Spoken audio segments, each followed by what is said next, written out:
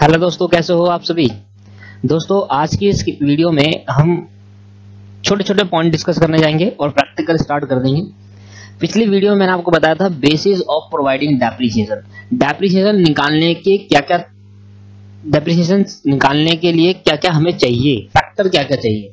तो वो मैंने आपको पिछली क्लास में सिखाया था। मैंने आपको कॉस्ट ऑफ़ एसेट सिखाई एस्टिमेट रेजिडुअल या स्क्रैप वैल्यू सिखाई या इकोनॉमिक लाइफ ऑफ़ एसेट सिखाई लीगल प्रोविज़न बताया, चार बातें बताई थी। पहले तो हम समझते हैं बुक वैल्यू और रिटर्न डाउन वैल्यू क्या होती है। तो what is what is book value book value और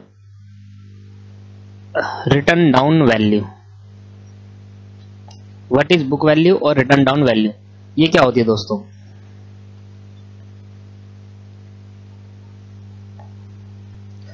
बुक वैल्यू और रिटर्न डाउन वैल्यू क्या होती है, वो समझते हैं। देखो, बुक वैल्यू और written down value it is a part of लिखा मेरे साथ मेरे साथ लिखेंगे। It is the part of the it is the part of cost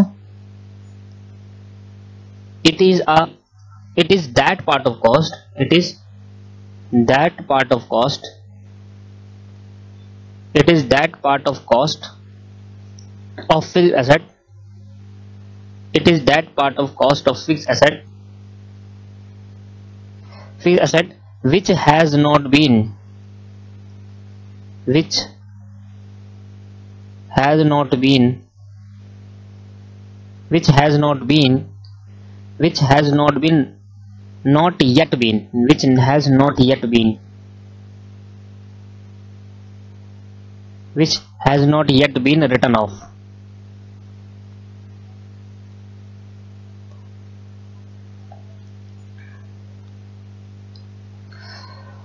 इसका मतलब डेप्रिशिएटेड रिटर्न ऑफ़ का मतलब क्या हुआ इधर? डेप्रिशिएटेड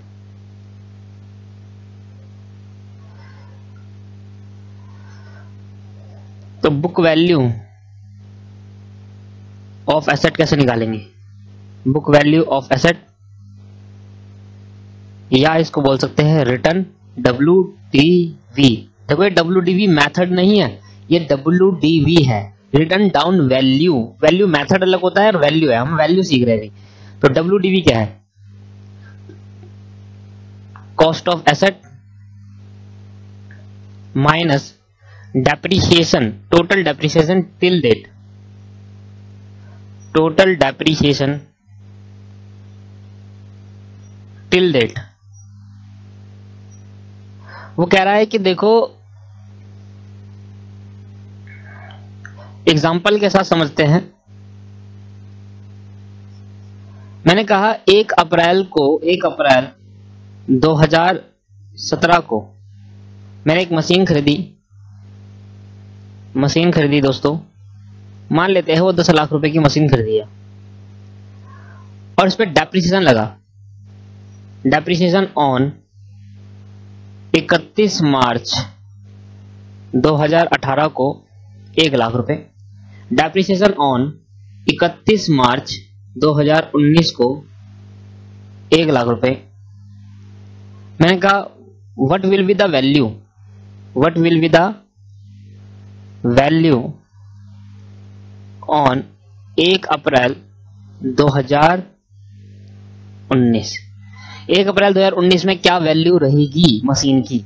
तो हमने कहा, देखो, बड़ा सिंपल है। आपने कहा सोल्यूशन कर रहा हूँ answer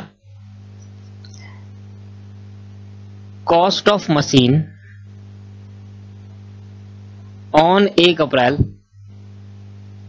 2000 cost of machine on एक अप्रैल 2017 को 10 लाख रुपए की थी. कॉस्ट ऑफ़ मशीन ऑन एक अप्रैल 2017 को कितने की थी? 10 लाख रुपए फिर हमने मैच करेंगे यहाँ से depreciation depreciation on thirty first March 2018 अब इकतीस मार्च 2018 तक कितना डेप्रेशन लग गया इसके अंदर? एक लाख रुपए। तो बच कितना गया दोस्तों? नौ लाख रुपए। जो बच गया that is called book value उसको हम नाम देंगे क्या? बुक वैल्यू बुक वैल्यू या W D V written down value मतलब रिटर्न डाउन वैल्यू कैसे निकलती है? रिटर्न डाउन वैल्यू निकलती है जो कॉस्ट ऑफ़ एसेट है और टोटल डेप्रिसिएशन टिल डेट उस डेट तक का डेप्रिसिएशन माइनस करने के बाद जो वैल्यू बच जाएगी that is called written down value ठीक है? आगे बढ़ रहे हैं। फिर हमने कहा, फिर डेप्रिसिएशन माइनस करो। ऑन 31 मार्च 2019 एक लाख रुपए। और जो वैल्यू निकल के आएगी, आठ लाख रुपए। इस वैल्यू को हम नाम देंगे बुक वैल्यू इसको हम अपने बुक्स ऑफ़ अकाउंट में शो करेंगे। That is called book value और रिटर्न डाउन वैल्यू तो अब मैं आपको पढ़ाता हूँ, क्या लिखवाया था मैंने? What is book value written down value का मतलब it is that part of cost of fix asset ये वो पार्ट ऑफ़ फिक्स एसेट होती है मतलब फिक्स एसेट का वो पार्ट होता है which has not yet been written off जो अभी तक राइट ऑफ़ नहीं हुआ. राइट ऑफ़ मतलब डेप्रिशिएटेड नहीं हुआ. तो मैंने कहा ये वो एसेट होती है जो अभी तक डेप्रिशिएट नहीं हुई. तो मैंने बताओ कौन कितनी अभी डेप्रिशिएट नहीं हुई अभी तक? आठ लाख रुपए, ये. क्योंकि करंट ईयर में देखेंगे हम, ये ये हमारे लिए डब्ल्यू नहीं रहेगी। क्यों? ये कब रहेगी डब्ल्यू दोस्तों? ये पिछले साल रहेगी, इस साल नहीं रहेगी। क्यों? क्योंकि इस साल तक ये भी डेप्रिशिएट हो चुका। Till the date of depreciated जब तक डेप्रिसिएशन हो लग गया है total depreciation till date till date जिस दिन पे आप वैल्यू निकालना चाहते हो, उस दिन उस टाइम तक कितना डेप्रिसिएशन चार्ज हो गया है। तो दस लाख रुपए कितनी एक लाख है। अगर मैं यहाँ, मैं इस साल की, मैं इस साल होता, इस साल खड़ा होता मैं तो मैं एक, नौ लाख को डब्ल्यू बोलता। बट मैं खड़ा किस साइड हूँ? अभी मैं एक अप्रैल 2000 ये क्या बुक वैल्यू ऑन एक अप्रैल 2019 को। 19 में खड़ा हूँ तो मेरी डब्ल्यू ये होगी, मैं बुक्स अकाउंट में आठ लाख शो करूँगा। तो वो कॉस्ट ऑफ़ एसेट जिसमें अभी तक डेप्रिसिएशन चार्ज नहीं हुआ। उसको हम क्या नाम देंगे? बुक वैल्यू और उसको ही अपने बुक वैल्यू बैलेंस शीट के अंदर शो करते हैं। ठीक है दोस्तों? चलो। तो एक छोटा पॉइंट हमने सीखा डब्ल्यू का। अब आगे बढ़ते हैं। और मोस्ट इंपॉर्टेंट चीज़ मैं आपको समझा रहा हूँ important point most important point ये ध्यान ज़रूर रखना है आपको क्वेश्चन करते time most important point most important point सबसे इंपॉर्टेंट पॉइंट है, अभी तक का सबसे इंपॉर्टेंट पॉइंट ज़रूर ध्यान रखना है इसको करते टाइम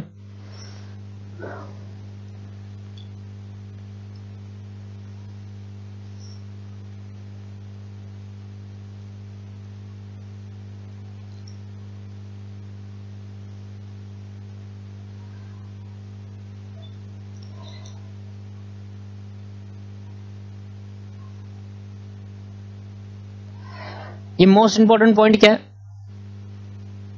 कह रहा है पहला point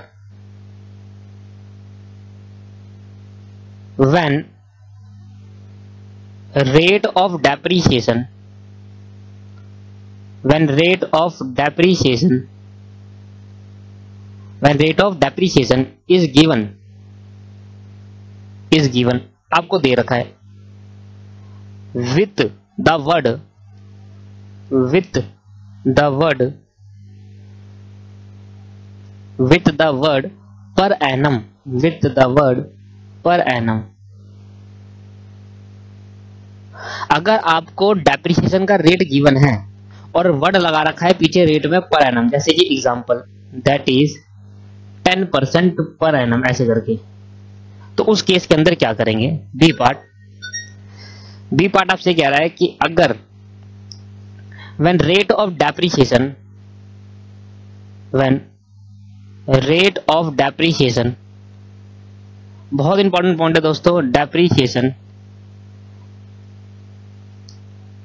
is not given is given दे तो रखा है इज़ गिवन दे तो रखा है without without the word per annum without the word per annum per annum नहीं दे रखा उसके पीछे। जैसे कि लिखा हुआ है सिर्फ़ टेन परसेंट जैसे कि सिर्फ़ लिखा है टेन परसेंट तो दो बातें निकल के आती है। अगर क्वेश्चन के अंदर आपको रेट ऑफ़ डेप्रिसिएशन गिवन है और उसके पीछे लिखा हुआ है पर एनम उसके पीछे क्या लिखा हुआ है दोस्तों? पर एनम लिखा हुआ है। तो किस तरीके से क्वेश्चन को सोल्व करा जाएगा? अगर क्वेश्चन के अंदर रेट ऑफ़ डेप्रिसिएशन गिवन तो है गिवन तो है दोस्तों। दोनों में गिवन होना चाहिए। दोनों में गिवन है बट एक में लिखा है परैनम, एक में लिखा है, एक में परैनम नहीं लिखा। तो इस केस के अंदर क्या सोल्व करें और उस केस के अंदर क्या करें? बड़ा इंपॉर्टेंट चीज़ है आप कभी देखते नहीं होंगे रेट ऑफ़ डेप्रिसिएशन में परैनम लिखा है नहीं लिखा। अच्छा टेन परसेंट लगाओ। समझ में आ रही है बात? तो ध्यान देना है रेट ऑफ़ डेप्रिसिएशन अगर पर एनम है तो कैसे सोल्व करा जाएगा?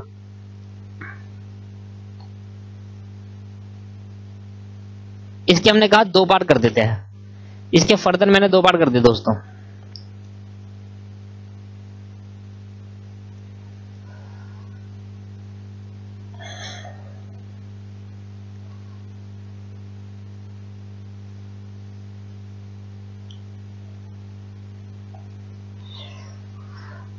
ठीक है, पहले देख लेना उतार लेना फिर मैं आपको पूरा चार्ट दिखा दूँगा कैसे उतारना है।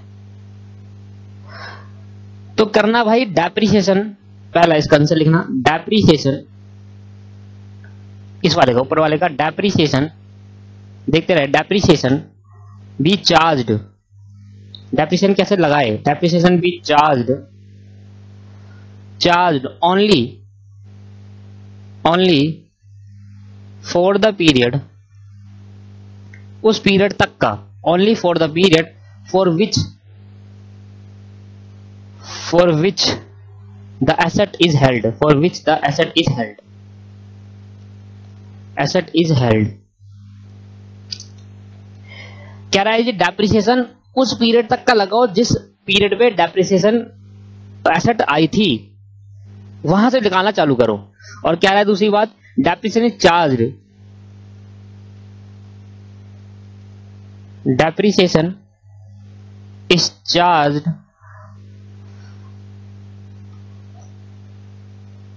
depreciation is charged for the full year. For the full year.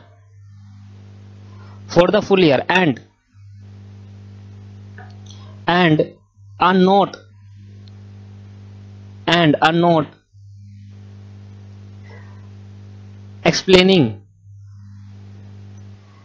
अच्छा इसको, अभी आपने उतारा नहीं था? इसको ऐसे लिखो आप दोस्तों।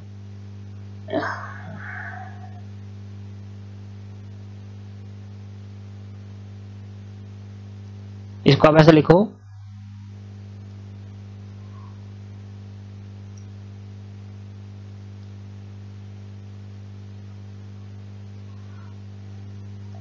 लो दोस्तों, मैंने बना दिया आपके लिए, ध्यान सुनना। ध्यान सुने मैंने आपकी दो बातें लिखी है।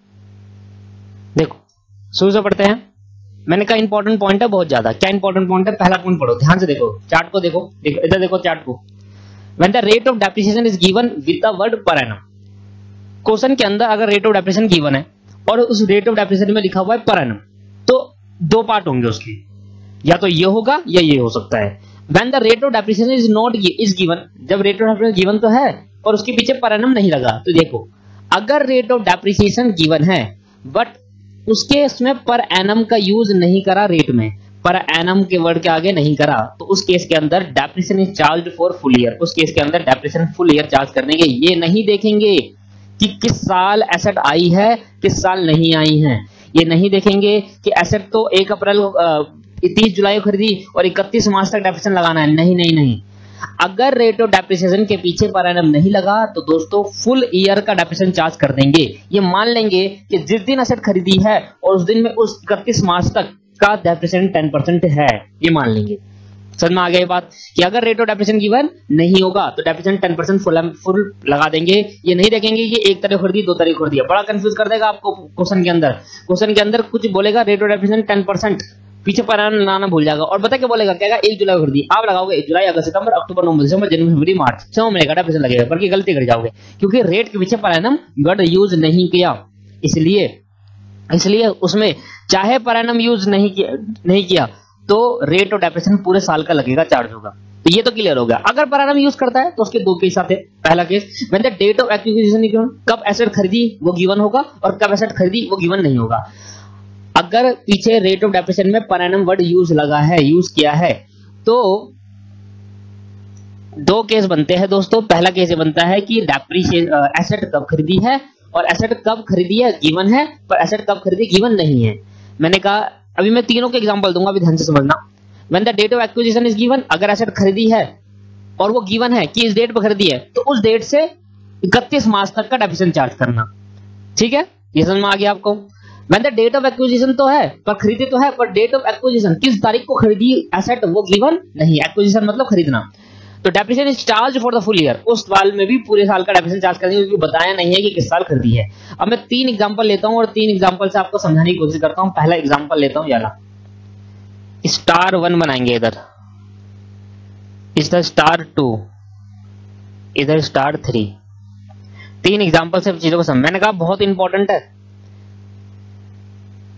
Star one example.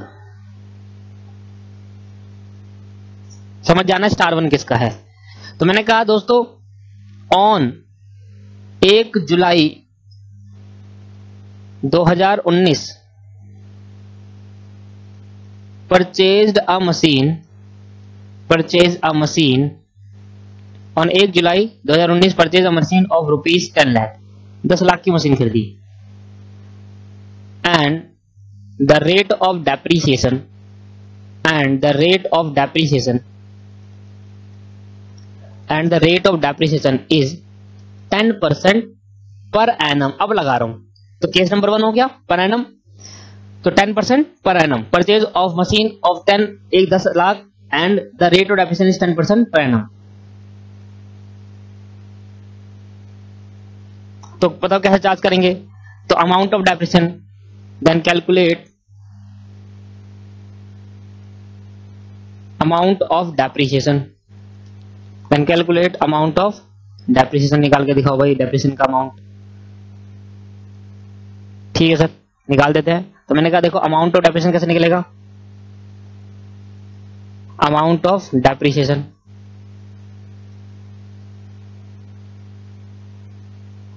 क्या है दोस्तों? दस लाख रुपए की मशीन है और दस लाख रुपए में टेन परसेंट से वैल्यू घट रही है टेन परसेंट से घट रही है। बट सुनो ध्यान से मशीन की वैल्यू कब घटेगी? टेन परसेंट से। भाई, पूरे साल थोड़ा मशीन यूज़ हुई है, ध्यान सुनना। एक अप्रैल 2019 को साल चालू हुआ और 31 मार्च 2020 को साल खत्म हुआ। ठीक है, यहाँ तक क्लियर हो गया आपको? अब मशीन खरीदी एक जुलाई। भाई, एक जुलाई। क्या इस दौरान मशीन को कोई यूज़ हुआ? जब यूज़ ही नहीं हुआ तो डेप्रेशन किस बात का दोस्तों? यूज़ तो यहाँ खरीदी तो यहाँ से यूज़ होना चालू करेगा ना। तो जितने साल पे, जितने महीने यूज़ हुआ, उतने महीने का ही डेप्रेशन लगेगा। और ये टेन परसेंट पर एनम है। पर एनम मतलब पूरे साल का दे रखा है। दस परसेंट क्या दे रखा है? पूरे साल का दे रखा है दस परसेंट तो हमें इसको क्या करना पड़ेगा? तोड़ना पड़ेगा दो हिस्सों में। एक इधर एक इधर। हमने कहा दस परसेंट का कर दो। कितने महीने हो गए? जुलाई, अगस्त, सितंबर, अक्टूबर, नवंबर, दिसंबर, जनवरी, फरवरी, मार्च। तो नाइन मंथ इसका अलग कर दो। तो टेन परसेंट कितने महीने का है ये? ये टेन परसेंट कितने महीने का है दोस्तों? पूरे बारह महीने का। तो बारह से डिवाइड कर दिया। तो एक महीने का आ गया और मल्टीप्लाई पे नाइन कर दिया तो नाइन महीने का आ गया। तो इसके लिए मैंने कहा नाइन बाई ट्वेल्व ये टेन परसेंट को बारह से डिवाइड करा और नौ से मल्टीप्लाई कर दिया। तो आपके पास कितना आ गया डेप्रिसिएशन निकालो। भाई, एक लाख दस लाख का टेन परसेंट एक lakh into nine divide by बारह। यह है सेवेंटी फाइव थाउज़ेंड तो आपके पास डेप्रिसिएशन कैसा आया दोस्तों? सेवेंटी फाइव थाउज़ेंड तो मैंने केस क्या बनाया है? कि ऑन एक जुलाई। मैंने बता दिया डेट डेट मैंने बता दी। और रेट के आगे क्या लिख दिया? पर एनम तो बताओ रेट के आगे पर एनम है, ये रहा। और डेट ऑफ़ एक्विजिशन गिवन है। तो ये केस बन गया। अब case number two example two ये समझ में आया? जितने महीने हम यूज़ करेंगे मशीन को, उतने महीने का डेप्रेशन लगाएँगे। ये टेन परसेंट पूरे साल का है। तो उसको बारह से डिवाइड कर दिया। और जितने महीने यूज़ करा था नौ से तो नौ से मल्टीप्लाई कर दिया। इसलिए नौ बटे बारह। ठीक है दोस्तों? Star two example. अगर आपने पीछे का नोट कर लिया तो एग्ज़ाम्पल मेरे साथ साथ लिखे purchase a building of rupees five lakh and the rate of depreciation and the rate of depreciation. And the rate of depreciation is 10 percent per annum तो बताओ डेप्रिसिएशन क्या होगा? अमाउंट ऑफ़ डेप्रिसिएशन तो मैंने कहा, बताओ, कब खरीदी? अमाउंट ऑफ़ डेप्रिसिएशन तो बोले दोस्तों, बोलते मैंने पूछा, दोस्तों, बताओ, कब खरीदी हमने ये मशीन आपने कहा, सर, ये तो पता ही नहीं मशीन कब खरीदी? हाँ ये पता है कि पर एनम है। केस नंबर वन है कि पर एनम है। डेप्रिसिएशन पूरे साल का गिवन है। तो मुझे उस टाइम का निकालना पड़ेगा जब मशीन खरीदी। अब ये तो बताओ, पहले मशीन कब खरीदी? तभी तो मैं ब्रेक करूँगा रेट को। तो मैंने ब्रेक ही नहीं कर पाऊँगा क्योंकि मुझे पता नहीं है। तो मैंने कहा, पाँच लाख रुपए जितने की मशीन खरीदी है, उस पर पूरा पूरा डेप्रेशन लगा। तो ये मान लो कि मशीन पूरे साल यूज़ हुई होगी। मशीन एक अप्रैल को खरीदी होगी। ये एजम्सन ले लेना और पूरे साल का डेप्रेशन चार्ज कर देना। नहीं तो आप हमें बताओ। नहीं तो बताओ आपकी बिल्डिंग कब खरीदी। अगर बिल्डिंग आप बताओगे इस तारीख को खरीदी तो हम उस तारीख से लास्ट साल तक डेप्रेशन लगा देंगे। पर अगर आप बताओगे नहीं बिल्डिंग कब खरीदी तो हम क्या करेंगे? पूरे साल का डेप्रेशन लगा देंगे। और साल वाइज लगाएँगे अगले साल से। ठीक है दोस्तों? कहीं आप सोचो भैया कि ये पाँच लाख रुपए है और पाँच लाख तो पूरे, अभी तो लॉन्ग टाइम तो चलेगी तो हम हर साल का निकालते हैं, हर साल का, हर साल का डेप्रेशन लगाते हैं हम। तो भैया पाँच लाख इंटू टेन परसेंट कितना आ गया फिफ्टी थाउज़ेंड और ये फिफ्टी थाउज़ेंड क्या माना है आपने? क्या एजम्सन लिया आपने? एजम्सन ये लिया है कि हमने ये मान लिया, आपने रेट ऑफ़ डेप्रिसिएशन का एक्विजिशन डेट गिवन नहीं है। तो हमने एजम्सन ली एजम्सन नीचे लिखनी है। एजम्सन मत लिखो, आप लिखो note note in above question ऐसे लिखो in above question in above question the date of acquisition is not given the date of acquisition paper में सर लिखनी पड़ेगी? हाँ लिखनी पड़ेगी। Date of acquisition is not given so we assume that so we assume हमेशा we लगाते हैं दोस्तों, ध्यान रखना आई नहीं लगाते वी लगाते हमने एज्यूम करा। आप अकेले एज्यूम नहीं करते, सबको यही करना पड़ेगा। सो वी एज्यूम दैट जब अकेले खुद एज्यूम करोगे तो आई लगाओगे। यहाँ पर तो सभी पर्सन को, आप स्टूडेंट हो, आपके साथ कोई बगल में स्टूडेंट हो, कोई भी स्टूडेंट हो, सबका यही लिखना है। So we assume that assume that date of acquisition date of acquisition is beginning of the year beginning of the year. मान लेंगे कि डेट ऑफ़ एक्विजिशन क्या है? बिगिनिंग ऑफ़ द साल के शुरू में खरीदी होगी। तो साल के शुरू में मतलब एक अप्रैल को खरीदी। दैट इज़ दैट इज़ जो भी कैलेंडर हुआ एक अप्रैल हुआ एक अप्रैल या एक, एक जनवरी हुआ एक जनवरी। तो साल के शुरू में खरीदी है मान लेंगे, और साल के शुरू में खरीदी तो पूरे साल यूज़ होगी। अगर पूरे साल यूज़ होगी तो रेट ऑफ़ डेप्रिसिएशन भी पूरे साल का देगा। पर एनम का मतलब क्या है? पूरे साल का डेप्रिसिएशन का रेट तो इसलिए नौ बटे बारह करते हैं, समझ में आ रहा है? क्यों करते हो नौ बटे बारह? क्योंकि जो रेट है वो पूरे साल का है। तो हमें उस रेट को ब्रेक करना है, तीन महीने अलग करना है, नौ महीने अलग करना है। इसलिए नौ महीने का नौ बटे बारह कर देते हैं। क्यों? दस परसेंट पूरे साल का है तो बारह से डिवाइड और नौ से मल्टीप्लाई पर इधर पूरे साल का ही है तो पूरे साल का कीमत है इसलिए। ये देखो, ये पढ़ो अब। द डेप्रिसिएशन इज़ चार्ज इधर देखो बी पार्ट में फॉर फुल ईयर डेफिनेशन क्या कर देना? Full year and a note explanation is given is to be given और नोट देना ज़रूरी है।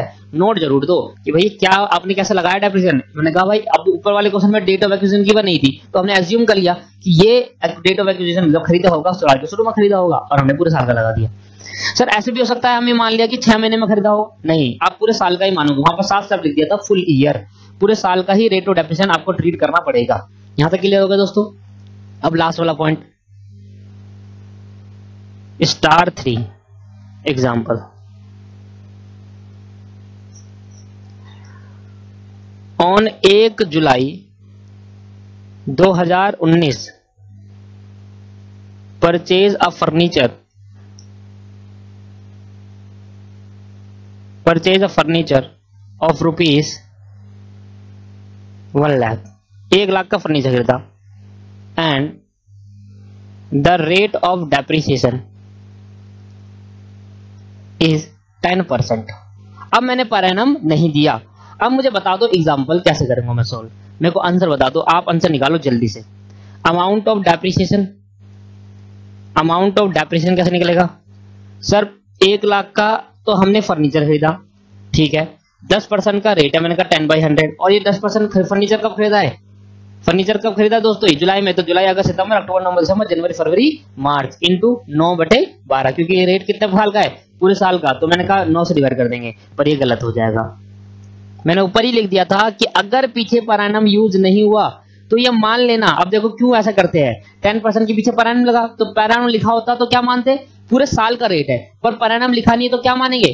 भाई, जितना मशीन चली है, उस टाइम का रेट है बस। ऑटोमेटिकली कट कर आ गया। देखो, मैं समझाने की कोशिश करता हूँ। मैंने कहा, भाई, एक अप्रैल को हमने वो क्या खरीदा? फर्नीचर खरीदा 2019 को। और 31 मार्च को 31 मार्च 2020 में हमारा साल खत्म होता है। एक साल का, हर एक साल पीरियड का निकालते हैं। ठीक है, अब ध्यान सुनना। मैंने यहाँ पर एक जुलाई को खरीदा, एक जुलाई 2019 को। अब मेरा मशीन यहाँ खरीदी है। फिल्डिंग यहाँ खरीदी है। ठीक है, अब बिल्डिंग यहाँ खरीदी है तो यहाँ से यहाँ कितने महीने होते हैं दोस्तों? नौ महीने होते हैं। और ये वाई तीन महीने हो गए। अब मेरे को जो रखा टेन परसेंट पर एनम है। अगर पर एनम लिखा तो मैं कहता पूरे साल का रेट है। पर अगर पर एनम नहीं लिखा तो मैं मान लूँगा कि ये नौ महीने का ही रेट है। अपने आप डिवाइड हो गया। मान लो होगा बारह परसेंट तो दो इधर होगा, दस इधर हो गया होगा। ठीक है? तो अब अगर पर एनम नहीं लिखा तो क्या मान लेंगे? जिस साल मशीन खरीदी है, जिस महीने में मशीन खरीदी है, वहाँ से एंड तक का रेट हमें गिवन है बस। ठीक है दोस्तों? तो टेन परसेंट तो आपको इग्नोर कर देना है कि मशीन कब खरीदी। इग्नोर कर दो मशीन कब खरीदी और लगा दो पूरे साल का डेप्रेशन ये देखो, पूरे साल का लग गया। तो हमने कितना हो गया? एक लाख का दस परसेंट कितना हो गया, सर? दस हज़ार रुपए ये छोटी छोटी बातें आपको इतना क्वेश्चन पूरा गलत करा सकती है, अगर टेन परसेंट पर आप कभी रेट नहीं देखते दोस्तों रेट देखना बहुत ज़रूरी है। पर एनम लिखा है, पर एनम नहीं लिखा। अगर पर एनम लिखा है तो डेट ऑफ़ एक्विजिशन गिवन है। गिवन है तो उस हिसाब से लगानी है। गिवन नहीं है तो फुल ईयर की लगानी है। टेन परसेंट पर एनम नहीं दे रखा तो पूरे साल का लगाओ। इग्नोर कर दो रेट ऑफ़ एक्विजिशन खरीदी, नहीं खरीदी हमें नहीं पता। क्या है डेट ऑफ़ हम तो पूरे साल के लगाएँगे क्योंकि हम मान लेंगे कि जिस दिन खरीदी थी, उस दिन से इकतीस माह तक का रेट अपने हमें पहले से गिवन कर दिया। यहाँ तक क्लियर हो गया। चलो भाई, ये आपके पास छोटी छोटी बातें क्लियर हो गई यहाँ पर। अब मुझे बताना है आपको method of recording depreciation hang डालेंगे आपकी। Method of recording depreciation method of recording depreciation but depreciation को रिकॉर्ड कैसे करते हैं? मेथड ऑफ़ रिकॉर्डिंग तो जब भी बात रिकॉर्डिंग की आती है तो समझ लेना जनरल एंट्री पास करनी है। जनरल एंट्री पास करनी है। और जब भी बात चार्जिंग की आती है तो समझ लेना आपको कैलकुलेशन करनी है। तो यहाँ पर बात रिकॉर्डिंग की आ रही है तो हम जनरल एंट्री सीख रहे हैं। मैं सीधा जनरल एंट्री लिखा सकता था, पर आपको समझाना भी ज़रूरी था कि रिकॉर्डिंग का मतलब क्या होता है। रिकॉर्ड करना मतलब जनरल एंट्री पास करना और चार्ज करना मतलब कैलकुलेट करने के बाद डालना। तो चार्जिंग जब भी यूज़ होता है तो हम कैलकुलेट करते हैं और रिकॉर्डिंग जब भी यूज़ होता है या अकाउंटिंग जब भी यूज़ होता है तो हम जनरल एंट्री करते हैं। रिकॉर्डिंग की दूसरा अस्पत है अकाउंटिंग इसको हम अकाउंटिंग भी लिख सकते हैं रिकॉर्डिंग को। अकाउंटिंग मतलब अकाउंट्स करना तो रिकॉर्ड करना होता है एक तरीके से, ठीक है? तो जनरल एंट्री पास करनी है। जनरल एंट्री दो तरीके से होती है दोस्तों। पहला A part when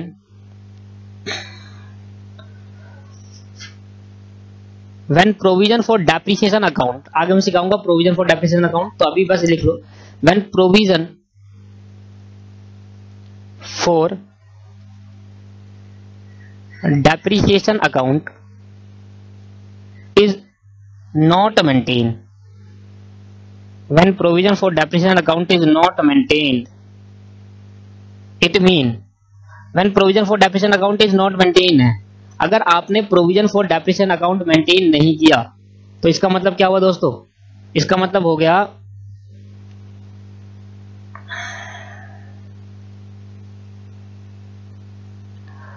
अगर आपने provision for depreciation account maintain नहीं किया तो मतलब आपने मशीन की अकाउंट मेंटेन करा है तो डेप्रिसिएशन मशीन अकाउंट में चार्ज करेंगे। ठीक है भाई? लिखेंगे आप मेरे साथ, इसके नीचे। इसके नीचे लिखेंगे दोस्तों। एक मिनट। ठीक है, इसका मतलब ये हुआ इट मीन इट मीन इसका मतलब अगर आपने provision for depreciation account maintain नहीं किया, मैं प्रोविज़न फॉर डेप्रिसिएशन जब सिखाऊँगा तो वहाँ पर बात करेंगे, यहाँ पर ऐसे लिख लो when provision for depreciation account is non maintain maintain नहीं करा था तो इग्नोर इट जब कराई नहीं तो क्या करना उसका? तो इसका मतलब क्या होता है? जब मेंटेन नहीं करा होता तो उसका मतलब होता है कि it mean when depreciation is charged it mean when depreciation is charged when depreciation is charged on asset account when depreciation is charged in asset account. Depreciation कहाँ चार्ज कर रहे हैं? एसेट अकाउंट में। यहाँ तक ठीक है। तो भाई, अब जनरल एंट्री पास करनी है पहली entry purchase of asset asset को खरीदने की। परचेज ऑफ़ एसेट इसके बाद हम स्ट्रेट लाइन मेथड स्टार्ट करेंगे। जनरल एंट्री करने के बाद छोटी सी है परचेज ऑफ़ एसेट एसेट को खरीदने की एंट्री क्या होगी? दोस्तों बताओ।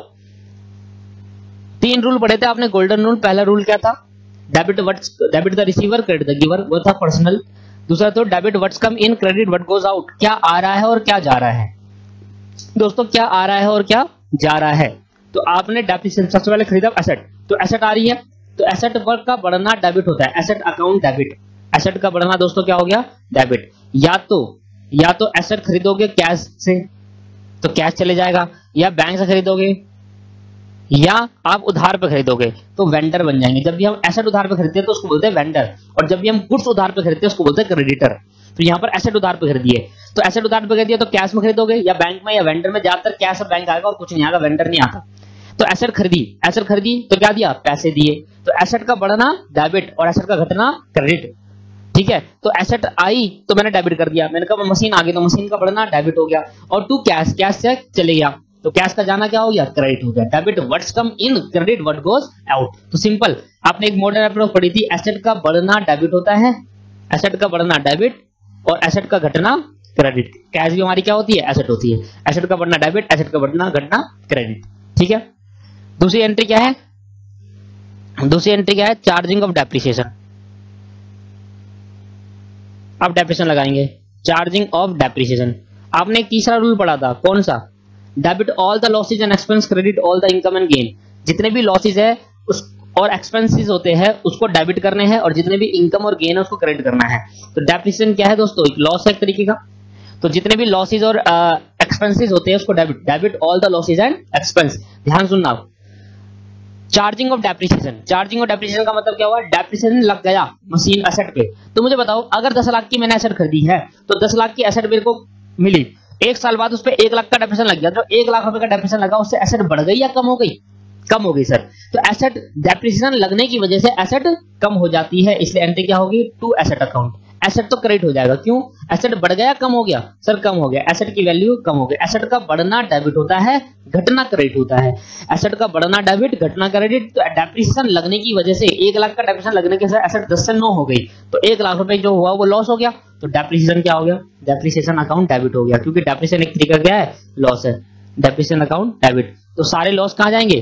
डेबिट साइड पर। लॉस का बढ़ना डेबिट होता है। और debit all the losses and expense credit all the income and gain तो चार्जिंग ऑफ़ डेप्रिसिएशन आ गया समझ में? अब transfer of depreciation to PNL account transfer of depreciation to PNL account transfer of depreciation to PNL account अब मैं PNL account से depreciation को ट्रांसफ़र कर रहा हूँ. सॉरी डेप्रिसिएशन को पीएन अकाउंट में ट्रांसफ़र कर रहा हूँ सॉरी डेप्रिसिएशन को पीएन अकाउंट में ट्रांसफ़र कर रहा हूँ। मुझे बताओ मुझे बताओ, मेरे को ध्यान समझना दोस्तों, ये एक डब्बा है। इसके अंदर एक रेड बॉल पड़ी है और एक ग्रीन बॉल पड़ी है। यहाँ पर एक बॉक्स है। इसके अंदर एक ब्लू बॉल पड़ी है। अब मैंने क्या करा, इस रेड बॉल को यहाँ से निकालकर यहाँ डाल दिया।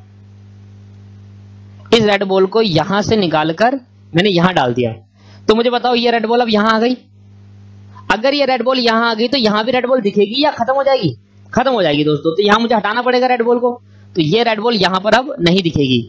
तो समझो ऐसी ऐसी अकाउंटिंग एंट्री होती है। मैंने कहा ये डेप्रिसिएशन अकाउंट है। ये डेप्रिसिएशन अकाउंट है। और मैंने कहा ये है पीएनएल अकाउंट मैंने कहा रेड बॉल जो है वो डेप्रिसिएशन है. रेड बॉल क्या है? डेप्रिसिएशन मैं एक अकाउंट से तब दूसरे अकाउंट में ट्रांसफ़र कर रहा हूँ तो जो डेप्रिसिएशन डेबिट हुआ, वो अब हटाना पड़ेगा। जो डेप्रिसिएशन डेबिट हुआ, वो कैंसिल करना पड़ेगा, क्योंकि मैं दूसरे अकाउंट में भेज रहा हूँ। तो जब डेप्रिसिएशन को यार डेप्रिसिएशन जो मैंने चार्ज कर दिया मुझे मैं डेबिट साइड में लिखा, अब उसको मैं ट्रांसफ़र कर रहा हूँ पीएन अकाउंट में तो मुझे क्या करना पड़ेगा उसको ट्रांसफ़र करने के लिए, दोस्तों? मुझे ट्रांसफ़र करने के लिए क्या करना पड़ेगा? इसको कैंसिल करना पड़ेगा, है ना? इसको क्या करना पड़ेगा? खत्म करना पड़ेगा। क्योंकि यहाँ पर अगर मैं इस बॉल रेड बॉल को यहाँ दे रहा हूँ तो यहाँ से रेड बॉल हटा भी तो रहा हूँ। तो कैंसिल करने के लिए यहाँ तो मैंने हटा दिया, चलो काट दिया। तो अकाउंटिंग में काट तो थोड़ा ऐसे थोड़ा काट दू उसको, ऐसे करके काट दू? नहीं दोस्तों, ऐसे नहीं काटते इसकी अकाउंटिंग अकाउंटिंग ये करती है क्रॉस पोस्टिंग मतलब अपोजिट साइड डाल देते हैं। तो हमने क्या करा? डेफिशन को क्रेडिट साइड में डाल दिया। जब भी हम एक अकाउंट से दूसरे अकाउंट में ट्रांसफ़र करते हैं तो जो एंट्री डेबिट होती है खत्म करने के लिए हम उसको क्रेडिट करना पड़ता है तो डेबिट को क्रेडिट कर दिया। क्यों करा? क्योंकि ये कहाँ गया? पीएनएल अब तो डेबिट अकाउंट में नहीं रहा डेबिट साइड में, अब कहाँ रह गया? खत्म हो गया। खत्म करने के लिए डेबिशन को क्रेडिट करा जाता है। अगर पहले से क्रेडिट होता तो मैं डेबिट करता खत्म करने के लिए। अपोजिट करना पड़ता है अकाउंटिंग में।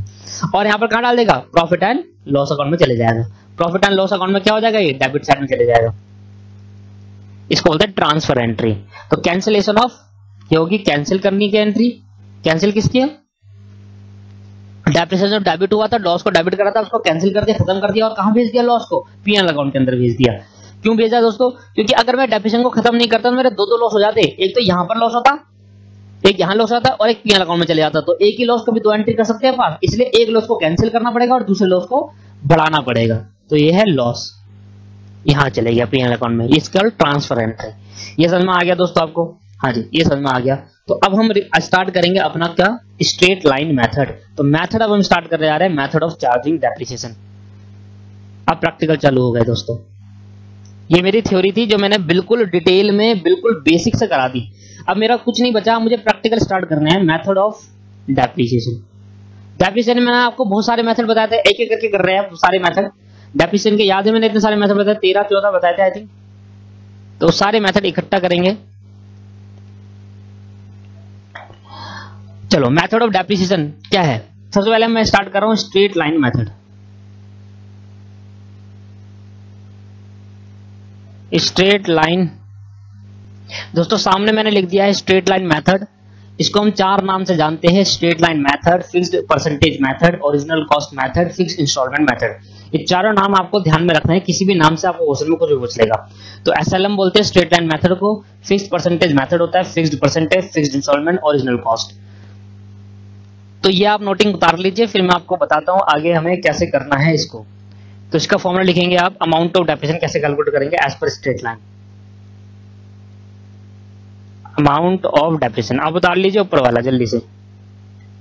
Amount of depreciation equal to cost of asset minus estimate estimate scrap value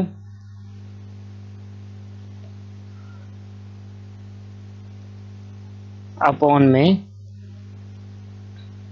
estimate scrap value upon में number of year of expected life number of year of expected life से divide कर देना है। Expected useful life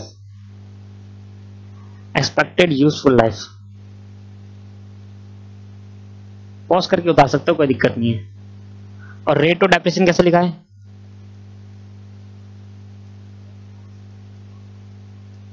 rate of depreciation कैसे लगाए दोस्तों?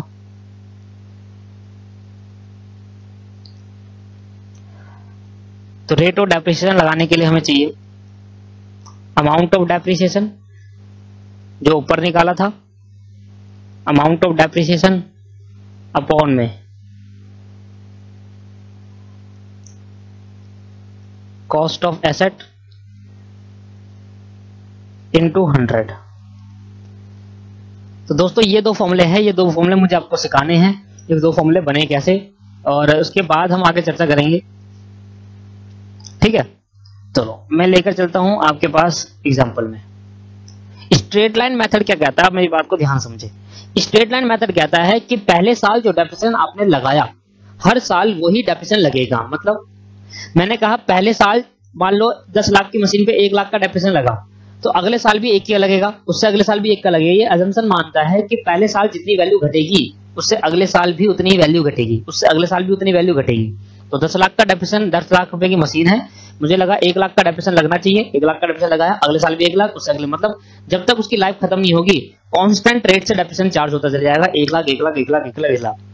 ठीक है दोस्तों, ये कहता है स्ट्रेट लाइन मेथड सबकी अलग अलग एजम्पन है। रिटर्न डाउन वैल्यू मेथड कुछ और कहता है, उसकी अलग एजम्पन है। ठीक है? तो इसकी एजम्पन क्या है कि पहले साल जो डेप्रेशन लगाओगे ओरिजिनल कॉस्ट पे जो डेप्रेशन कैलकुलेट करोगे ओरिजिनल कॉस्ट पर। ओरिजिनल कॉस्ट पे जो डेप्रेशन कैलकुलेट करोगे, तभी तो उसका ओरिजिनल कॉस्ट मेथड पड़ा मैं तीनों नाम, चारों नाम जो आए, वो कैसे आए, मैं समझा दूँगा आपको। तो ओरिजिनल कॉस्ट पे जो डेप्रेशन लगाओगे, अभी मैं समझाऊँगा एक एक करके, ठीक है? पहले एग्जांपल देखो।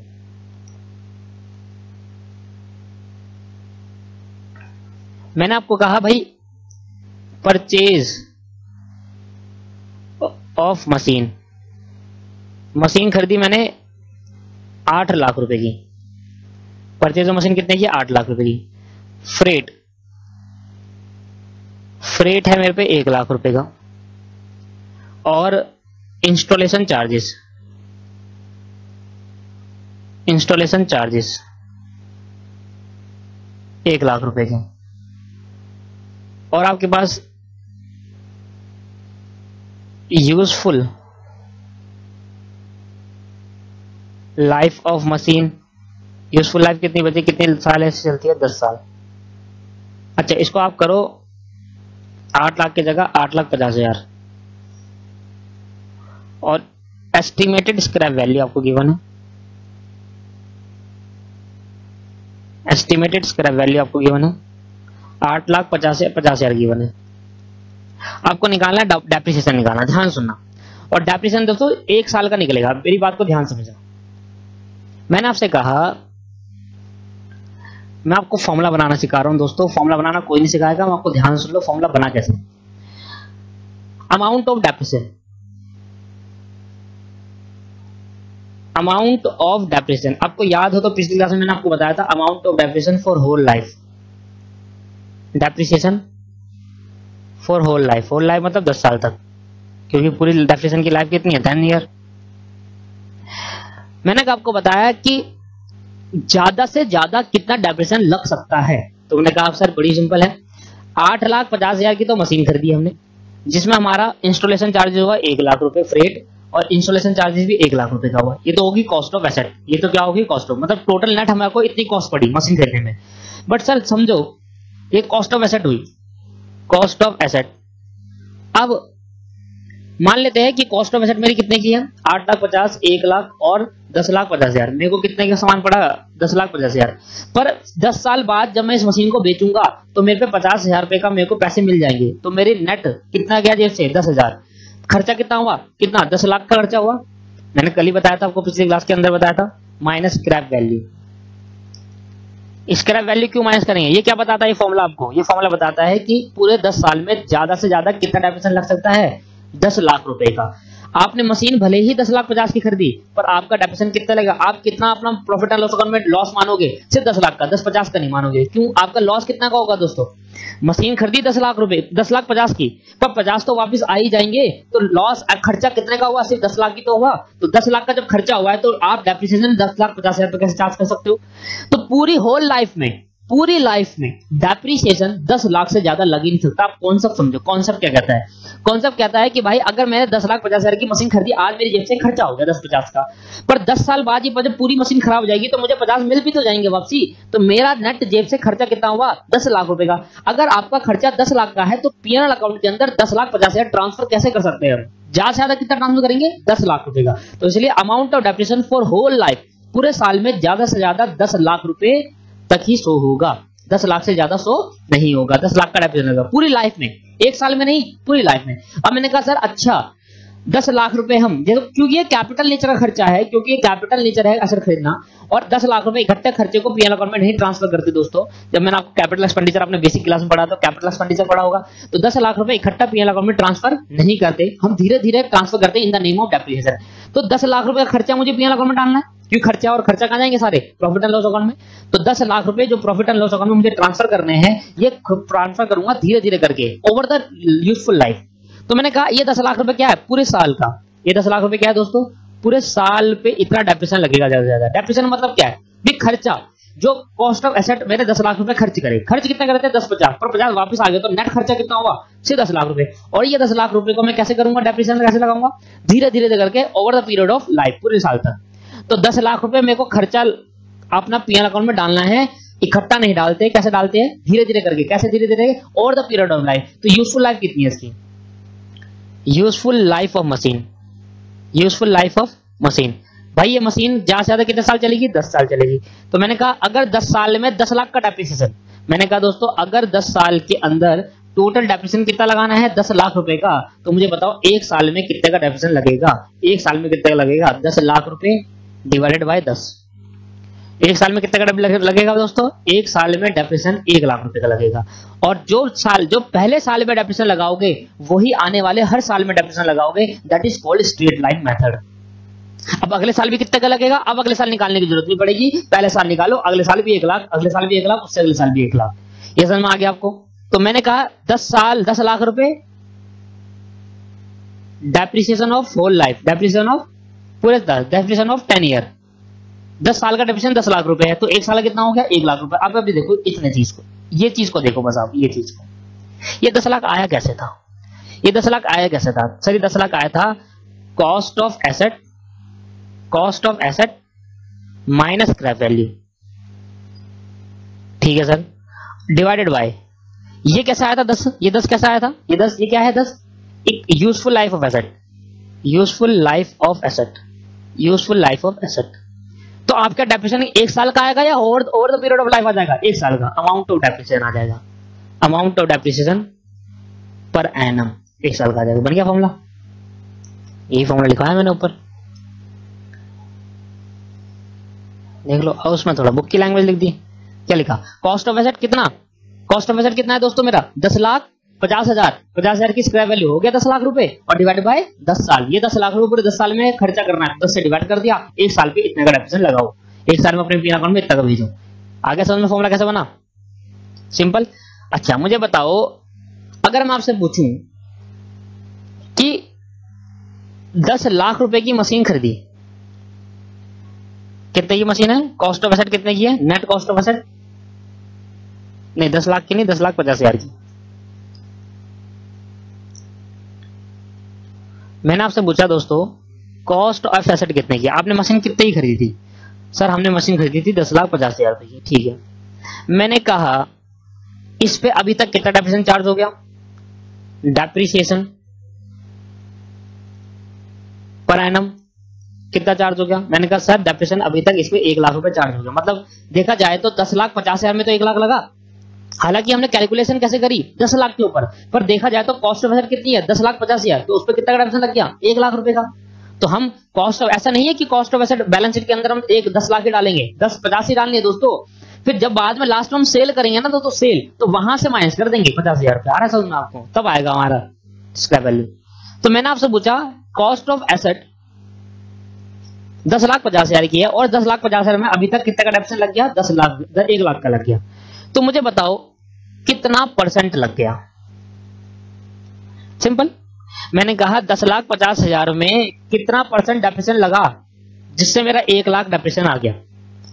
दस लाख पचास हज़ार में कितना परसेंट डेप्रेशन लगाया?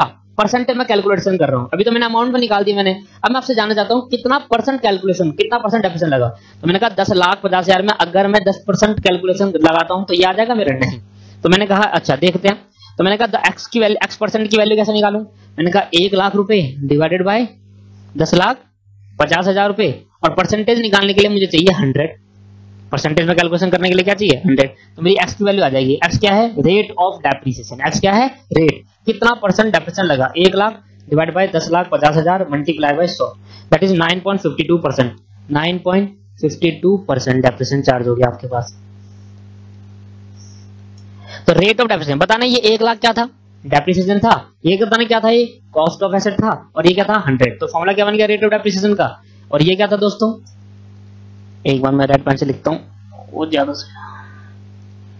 दोस्तों, ये था आपके पास डेप्रिसिएशन अमाउंट ऑफ़ ये था cost of asset COA cost of asset और ये था rate of depreciation rate of depreciation तो फॉर्मूला बन गया रेट ऑफ़ डेप्रिसिएशन क्या? Rate of depreciation is equal to depreciation upon cost of asset into 100 sir यहाँ तो हमने 10 लाख 50 हज़ार ले लिया, पर हमारा 9% आना, जबकि हमारा 10% आना चाहिए 10 लाख रुपए। नहीं दोस्तों, ऐसे ही होता है। यहाँ आपको नेट कॉस्ट ऑफ़ एसेट नहीं लेनी, यहाँ आपको सिर्फ़ कॉस्ट ऑफ़ एसेट लेनी है। गलती कर जाओगे अगर नेट ले लिया तो। फॉर्मूला बन गया rate of depreciation is equal to cost of asset scrap value minus नहीं करनी, सबसे बड़ी गलती होती है।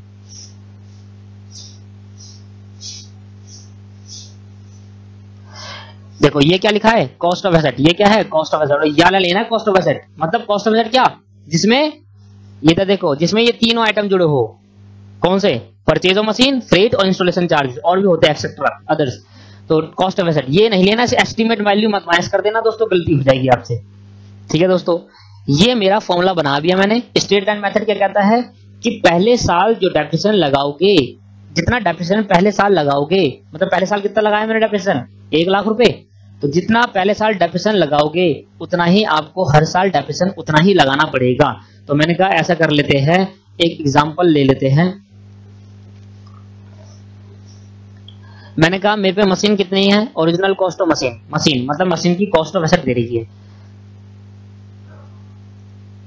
सीधा लिखता हूँ cost of asset cost of एक एसेट की कॉस्ट दे रही है। मैंने कहा कॉस्ट मतलब सब कुछ जुड़ा हुआ है। दस लाख रुपए। और रेट ऑफ़ डेप्रिसिएशन मैंने दे दिया। परसेंट ध्यान से मुझको समझाना चाह रहा हूँ। Rate of depreciation ten percent दे दिया। मुझे बताओ, पाँच साल में कितना डेप्रिसिएशन लगेगा? पाँच साल तक कितना डेप्रिसिएशन लग जाएगा? मैंने कहा कैलकुलेट कर लो।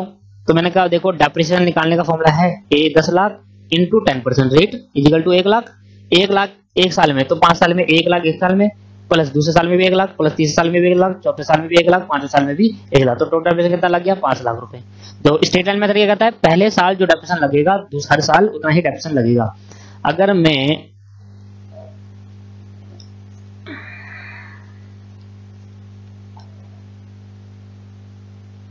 ये आपके पास पच्चीस हज़ार, पचास हज़ार, पचहत्तर हज़ार, एक lakh, one point two five lakh. और ये आपका हो गया one point fifty lakh.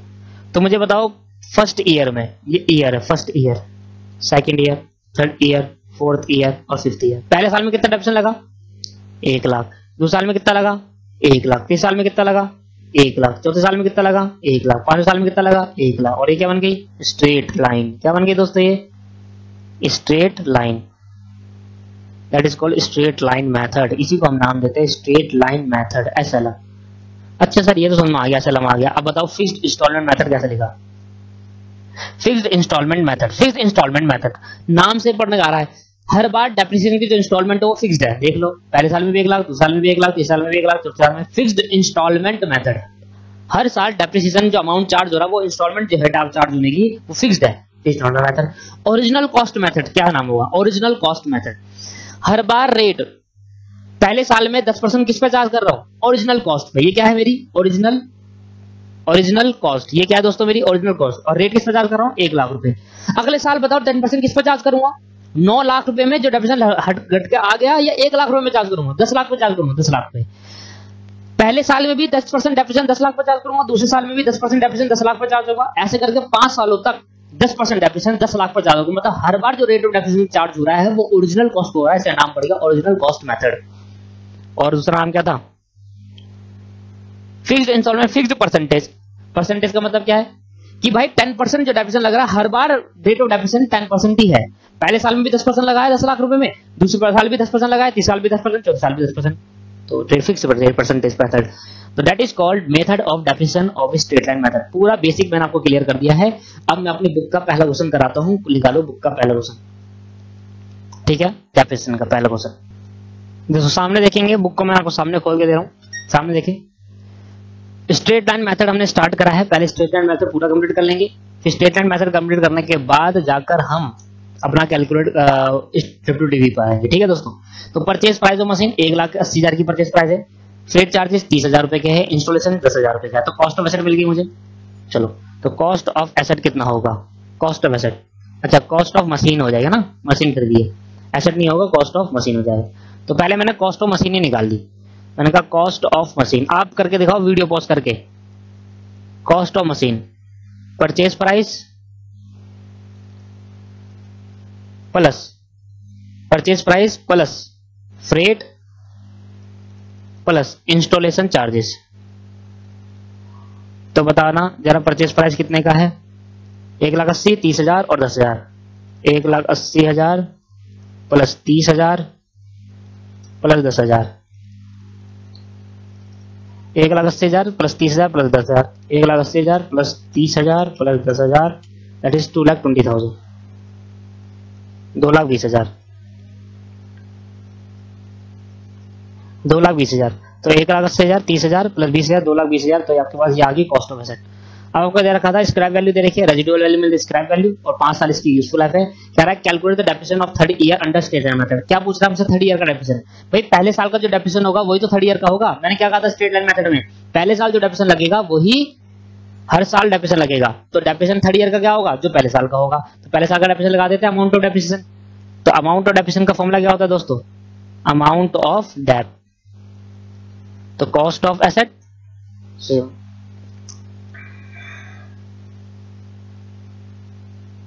cost of machine